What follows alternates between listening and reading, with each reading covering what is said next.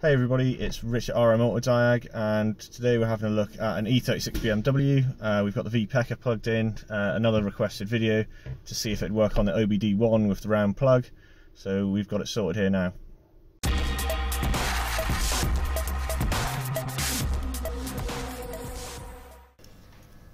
Okay, so we've got the um, the cap off the round plug under the bonnet.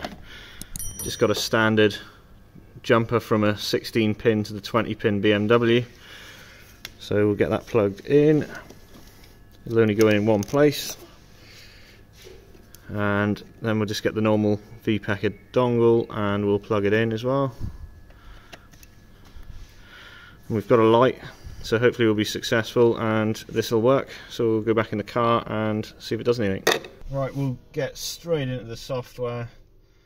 I'm sure you know what's going on by now.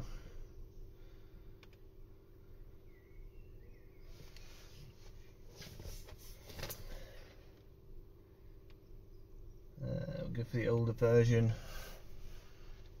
3 series does show an E36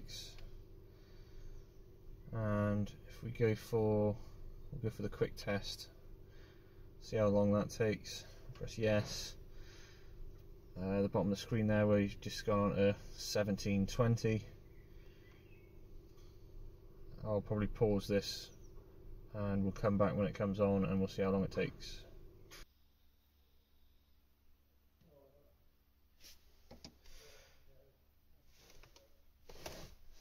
Uh, right, okay, so we're at 1724, so about four minutes to get through the test. Uh, that's that's not terrible for OBD1, I don't think. Um, quite a lot of things, uh, modules to go through on these BMWs. So, um, so view the quick result, which tells us what modules have got faults, what modules it has, and which ones don't. And we can view the faults as well. So that gives us a list of faults. Uh, O2 sensors, you've got some key identification stuff. Wheel speed issues. Yeah, nothing, nothing too interesting here. Um, airbag's going to be because it doesn't have a standard steering wheel on it. Um, this this car is actually used as uh, just a just a drifting car. So I'm imagining some of these faults are, are in here for stuff that's been disconnected. So let's go back out. So we've got a quick delete there. Um, let's go into this and see what we can find.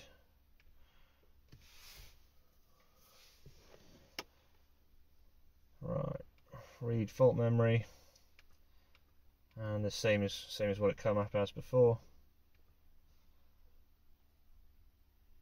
So we can clear, let's clear it, make sure that works. Clearing works.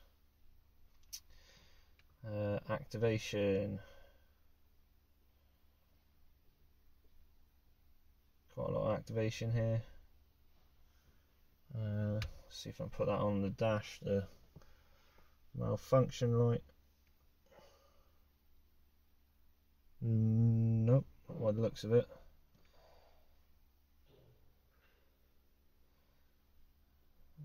Think the rest we'll need to have it running for. Well, I will try those tests. I'll probably just put on the screen somewhere and see if what what works. I'll try if it running in a bit with the uh, fuel injectors and the Vanos and things. And let's see if we can find a few things here. Maybe coolant, power supply, O2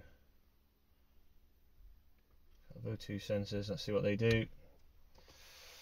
So yeah, we've got some live data up there. I have had the car running for a bit, uh, probably somewhere around 60 degrees, 12 volts. O2 sensors. That's just a bias voltage reading there, so all that seems to be good. Let's come back out. Let's try see what's in the immobilizer side of it. See if there's anything good in there. See, it's pretty quick for um, especially for an OBD1 usual part numbers and stuff like that. Fault code memory with the fault codes. And live data again. Let's check a few. So key detected. Code not active. Key status valid so all good things in there. Come back out on the main screen there. And we'll go into ABS see what that says.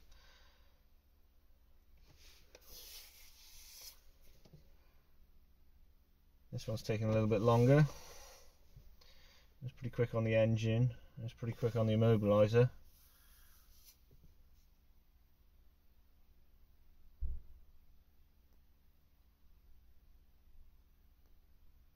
overall I don't this is terrible to be honest for an OBD1 car.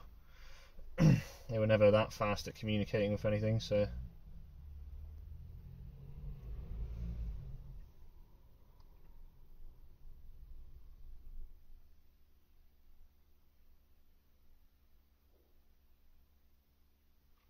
There we go. So identification. Tells us it's a Teves unit gives us the fault codes. Uh, we've got no activation on this, but we do have some live data. See what that says. Yeah, I'll read something sensible. Let's say short of ground, so I don't know if our pedal's going to work. It's not showing on and off when I press the pedal, but there may be a fault here, so that's pretty well it that in there. Uh, body electrics let's have a look at that. We do have component activation. Identification yeah it says it's made by Delphi part numbers and stuff. There wasn't any fault codes in here. Component activation. Interior lights. Turn on interior lights for 30 seconds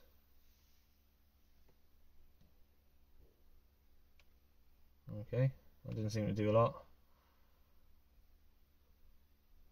What was this? Central locking. I guess that means locked, not blocked.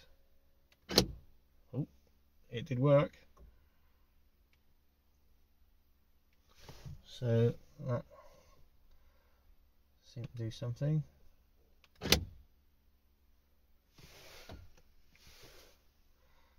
Okay. Is this? Right, this is the blocked, which I'm assuming should be locked. Yeah, I think it's just because the uh, the only one working is the driver's door. Okay, that's going up and down. Uh, electric window. Uh, we'll do passenger side. Hopefully you can see it. Open. That's broke, but it does work. Uh, right, we'll put that back up. That does work if the window actually is attached. So yeah, that seems to seems to do stuff in there. Airbag, just read read and clear in this one. I said that'll be there because this is how the steering wheel change. But as I say, this car isn't on the road. It's only just used for a bit of hobby drifting. No fault code. What we got in here? Temperature sensor.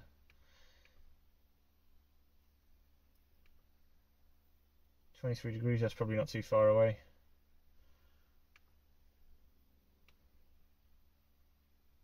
Uh, heated rear window uh, button. On off. Yeah so that works. Uh, turn this off to the noise.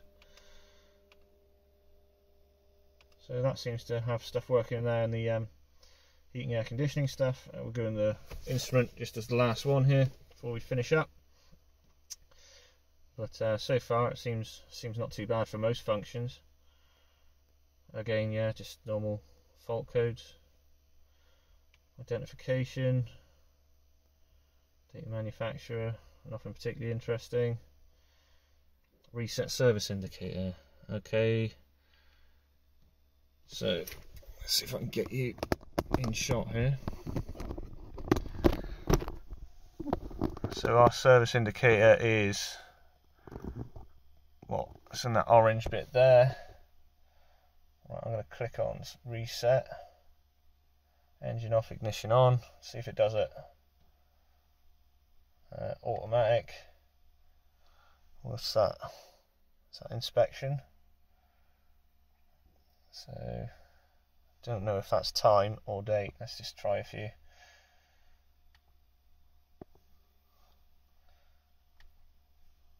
Uh, doesn't seem to have done anything. Let's go distance. Yeah, look at that. It's changed it. We go oil service as well? We'll do the lot. So yeah, that all seems to have worked there as well. So I think um, in general, I think that's pretty successful on an older BMW, say E36. I think this is about an R reg. So that's 1997. Um, plenty of the uh, plenty of the actuator tests work. Uh, it's done the service reset. There's plenty of data. Picked up the fault codes. It's it's reasonably quick for an OBD1. No issues there.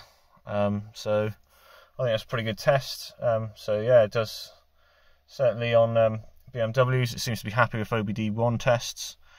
So uh, I hope you enjoyed watching this. Um, as I say, it was requested by you guys. So it was done. So thanks for watching and uh, come back for the next one. Cheers.